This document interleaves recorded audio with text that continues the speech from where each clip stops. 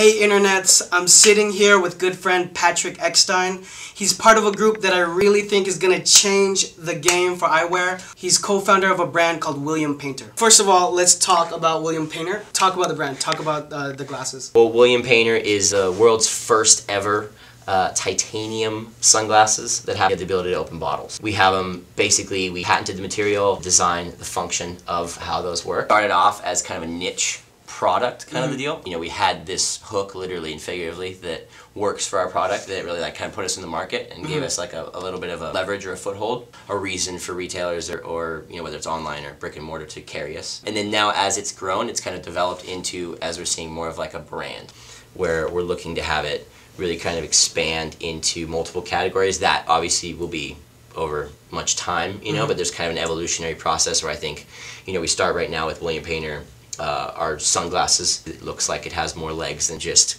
kind of that novelty hitch, you know. We really are kind of now concentrating on really high product quality, high-end customer service. Yeah. Um, and then kind of pushing more as a high-end lifestyle brand. This is weird because I, I never really do commercial per se for product or even in the, the interview series, but I already know everyone's gonna say where can I get those? Just so that people know, obviously, williampainter.com. Sure, yeah, williampainter.com. We also have the retail map on our site, but we have Southern California, we have couple in Irvine, a couple in San Diego, San Francisco, Santa Barbara, San Luis Obispo, and we have some on the East Coast as well. Oh, and we're, in, we're new in Las Vegas. Can't forget Crooked. Shout out DJ Crooked. Yeah, DJ Crooked. This venture in fashion, everything has moved really quickly for you.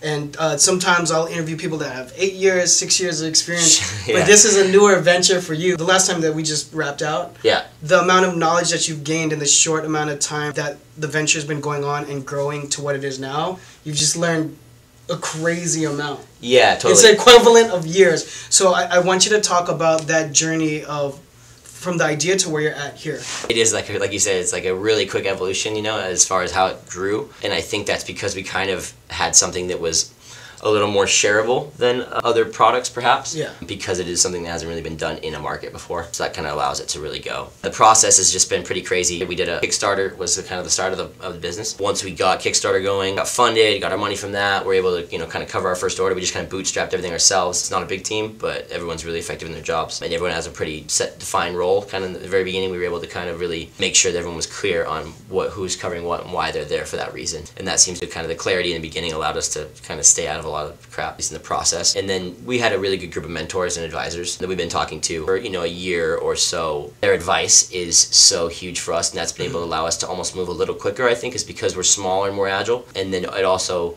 getting their advice and learning their pitfalls, learning where they've gone wrong, learning you know their biggest mistakes and things like that's allowed us to kind of build our own we're still making them but we're able to kind of mitigate Yeah. some of those risks Reduce you know the- yeah reduce the yeah, risk, yeah. exactly that's really been i think a huge part of the growing process and then learning it's just been like a crash course you know Sure. it's just been kind of been in sales and some marketing prior to this you know Right. but i mean nothing near the scale or setup that fashion or lifestyle or product based categories are Right. um, so we're learning a bunch about that but i mean it's just we're just kind of absorbing as Right. much as we can and the, the biggest attitude i think that we take with it is we know nothing you know it's like Yeah. and that almost helps us more than i think some other people because like we see when we talk to other people we go to conferences or we go to accelerators or incubators things like that to, so a lot of people are kind of very assuming of their like knowledge in the product Yeah. or, or knowledge in the in that channel Yeah. and it seems to me like that's a really kind of poisonous attitude because you, you really can't stop yourself from absorbing a lot of the stuff and i think our immaturity i guess you would say has allowed us to kind of just be like we, we know